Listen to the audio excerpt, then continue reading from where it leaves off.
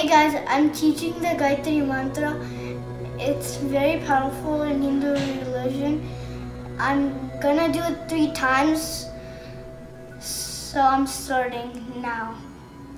Om Bhur Bhuvasaha Tatsavitururenyam Bhargo Devasya Dhimahi Dhiyo Yona Prachodayat Om Bhur Bhuvasaha Tatsavitururenyam Bhargo Devasya Dhimahi Dhiyo Yona Prachodayat Om Bhur Bhuvasaha Tatsavitururenyam Bhargo Devasya Dhimahi Dhiyo Yona Prachodayat Om Om Om. Subscribe and let's and thumbs up.